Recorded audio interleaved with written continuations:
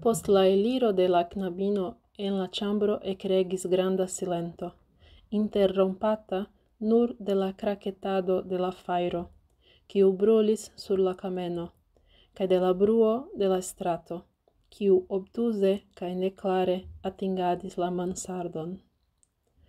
La virino en funebra vesto sidis sur la canapeto. La infano in la unuo momento ploris. Poste Gi alprenigis alla brusto de la patrino, silentigis, cae lazza endormigis.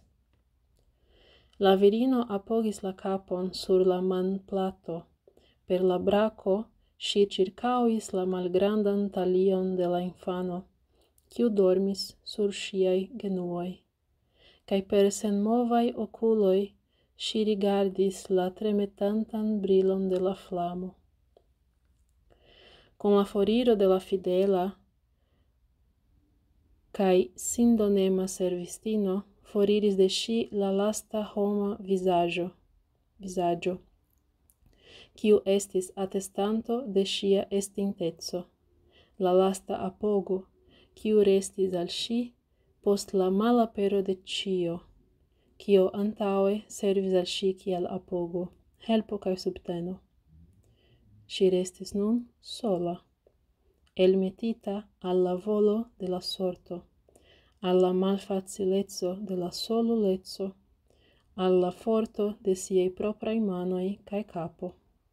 Cae cune con sci estis nur tiu malgranda, malforta existageto, quiu povis nur ce sia brusto serci riposon, de sia buscio postuli careson, el sia mano attendi nutron. Sia domo, quiu estis iam arrangita por si de la amanta mano de la etzo, nun, forlasita de si, acceptis en sian internon novain logiantoin. La bona, amata homo, quiu gis nun circauadis sin per amo cae bon stato, de kelke da tagoi kuŝis en la tombo.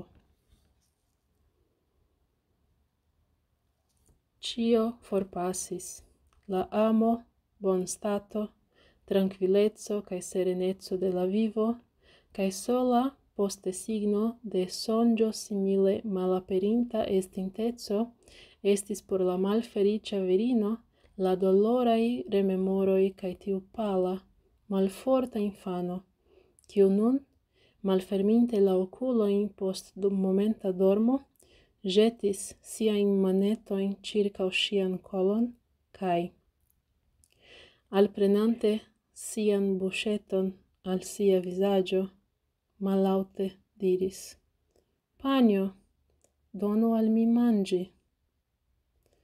Non tiu peto ancora havis in si nenion kio povus veki timon au malgioion en la coro de la patrino. La vidvino metis la manon en la poŝon kaj eltiris monujon, kiu enhavis kelke da mon paperetoj. La tuta havo de ŝi kaj ŝia filino.